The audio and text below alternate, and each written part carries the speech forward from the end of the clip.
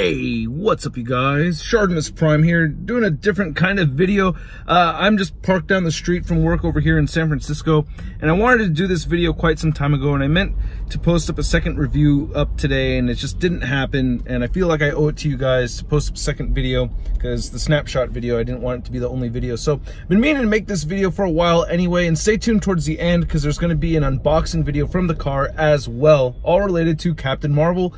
This is all spoiler talk. If you haven't seen the movie yet, you may not want to watch this video or come back and watch this video afterwards.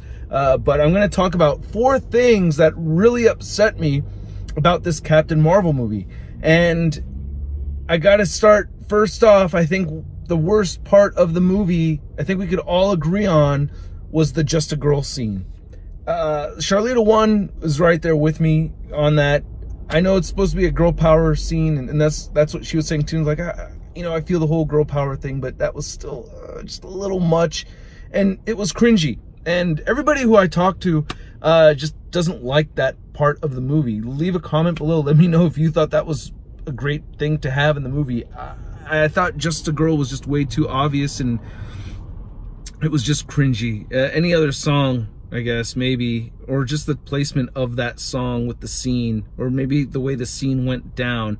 Maybe if it was like just a girl and they had some kind of scene where she was a a, a pilot, you know, flying her plane and beating somebody, you know, in, in a dogfight, you know, maybe something like that, or someone was telling her like, oh, you're not a girl, or you're not a real pilot because you're a girl, you know, only guys can be good dogfighter pilots, and then she ends up, you know, proving herself and they have that song. I probably would have cringed during that too. I think that song is just so blatantly obvious that it just wouldn't have worked. So yeah, number one uh, is the Just a Girl scene. Um, I actually just thought of a fifth thing that I didn't really like that much about the movie, but it didn't bother me as much, so I'm not putting it on the list. And that's the whole uh, the Carol Avenger Danvers thing. You know, at first I got what people were saying, about, oh, she's beating Cap as the first Avenger, but no, she's not. She was not the first Avenger. She is not the first Avenger. Just because she called herself Avenger and Fury took that name or somebody else called her Avenger doesn't mean that she's the first Avenger. There's all kinds of other people that called themselves Avengers at some point or another before the actual Avengers were formed. So, yeah, that that's not on the list. It doesn't bother me as much. Um, the number two thing is, uh, I'm going to say, uh, no Ronan and uh, no weaknesses. Yeah, that really bothered me a lot, man. She should have had some weaknesses and most definitely should have fought Ronan. I mean, we've seen Ronan before and he lost to a dance off and I feel like we could have seen a lot more Ronan, especially with him not having the Power Stone. It would have been really cool to see uh, what kind of uh, might behind Ronan and his hammer and everything there was without the Power Stone involved. And there, there was a lot of potential there that they did not tap into, and they definitely could have shown some weaknesses there with the Captain Marvel character having to go up against a formidable foe like Ronan. That would have been great.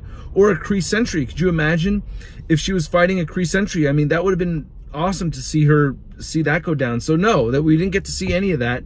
She never really had anybody to go up against to match her power level and that was very frustrating. And because of that when we see the end game bits it's kind of like okay well she's just kind of like i don't know i feel like she just got like a pass up to the top without really letting the viewers see her get to that level. That's what makes thor so awesome is that we saw his arc. We saw him really earn that place especially over the years of the mcu and him kind of like you know already being strong but seeing things really go to that next level with Infinity War. Um, the uh, the number the the number two thing that uh, or the number three thing I'm putting here is um, is the no is the death of Mar-Vell and the way Mar-Vell died. It would have been so easy to make Carol Danvers make that sacrifice play and jump in front of that blast and defend Captain Mar or Mar-Vell. Now, I didn't have a big problem with Mar-Vell being a woman instead of a guy. That's okay. But the key component of that character in relation to Carol Danvers is that she gets her powers defending him, protecting him. And it could have been her protecting the female Mar-Vell, and that would have been awesome. But instead, it's like, oh, she just shoots at the thing, and then okay, now she has all those powers. That was poorly done. I just thought such a poor decision and it really frustrated me. Uh, and then the last thing I'm going to talk about is Nick Fury's eye. Uh, you know, okay, yeah, Goose is an alien, so not the absolute worst thing. It's not like Goose is just a cat. It is an alien, but the whole line of, you know, last time I trusted someone, I lost an eye. I mean, we all took that seriously in the Winter Soldier movie. It would have been great to have seen that, you know, been taken seriously in this movie. And the biggest problem with that for me is, is that you had an opportunity with Yon-Rogg to take out the eye, right? Yon-Rogg was an ally, right? Wasn't he an ally? He could have been an ally that betrayed Nick Fury, and that's how he lost his eye. It would have been awesome if that's how it went down. I mean, Yon-Rogg was there ready for that anyway, so they could have easily have gone that route, and yeah, that's very, very frustrating. So yeah, that's what bums me out about this movie. I give it a 7 out of 10. It's been 7 and 8s across the board for the most part. My cousin gave it a 6, and he usually just likes Marvel movies a bit less than than I do. I mean, comics wise, he's definitely more of a DC guy. So he just, you know, he just prefers the DC comics more so. Uh, but yeah, I want to know what you guys think. Uh, stick around. Uh, we're going to have an unboxing for a figure that I forgot that I had ordered. So stay tuned. Going to work. I only work at Guitar Center one day a week now. So just to be clear. But yeah, I have no idea what this is. There's a couple of packages that I was expecting to have arrive at my place. And this, and those two had showed up and I was surprised to see this one. So I just picked this up and I have no idea what it is. Uh, it says that it came from the UK.